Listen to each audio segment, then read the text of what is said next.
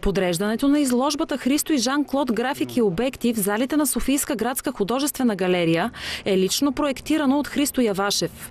Директорът на галерията разказа, че идеята за изложбата възниква по повод 80 годишнината на Кристо, а първоначалният замисъл е да бъдат показани творби, предоставени от колекционери. Трябваше да се свържем и с семейство, с неговите братя, Стефан Явашев и Анани Явашев. Разговаряхме и с неговия племенник Владимир Явашев, който работи близко с Кристо. И в процеса на тези разговори ни беше предложена една съвършено нова изложба, именно изложбата Кристо и Жан-Клод графики и обекти. Посетителите на експозицията ще видят над 50 годишен период от работата на Христо Явашев.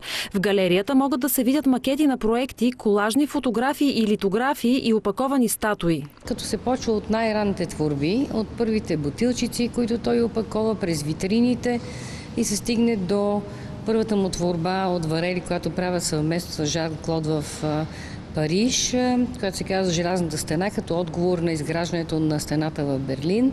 Изложбата е подредена тематично и в съответната хронология, в която са създавани творбите. А, никой не остава безучастен по света към творбите на Кристо. Те са събитие, същевременно една